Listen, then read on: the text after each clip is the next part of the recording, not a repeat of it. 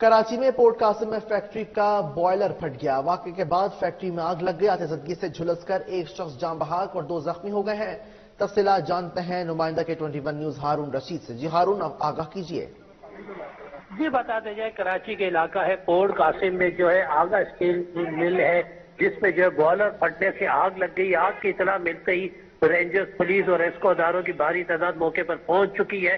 फलगड़ी गाड़ियों को मौके पर तलब कर लिया गया है। आठ गाड़ियाँ जो आग से काबू पाने के लिए जो कोशिश की जा रही है, जबकि जो रेस्कोदारों ने एक शख्स की लाश को निकाला है, जबकि दो जख्मियों को भी निकाल लिया गया है। दोनों जख्मियों को जो है अस्पताल मुंतकिल किया जा रहा है, जबकि फायर ब्रिगेड का हमला जो है आग पर काबू पाने की कोशिश कर रहा है। जब हमारी बात हुई फाइटर से तो इनका कहना था कि हमें जो पानी की किल्लत हो रही है जिसकी वजह से जो है आग पर हो सकता है कि, जो है वक्त लगे आग पर काबू पाने का। क्योंकि आग जो बॉयलर फटने की वजह से जो लगी है इसमें केमिकल है।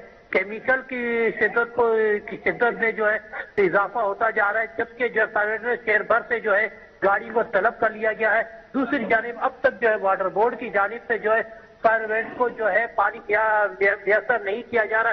जबकि गवर्नमेंट ने जो है बल्दी उजमा से जो है, पानी तरफ़, मजीद पानी की तरफ़ तरफ़ मांगने की जो है, दरख्वास्त कर दी है। जी। तफसीत के लिए शुक्रिया, हारून रशीद।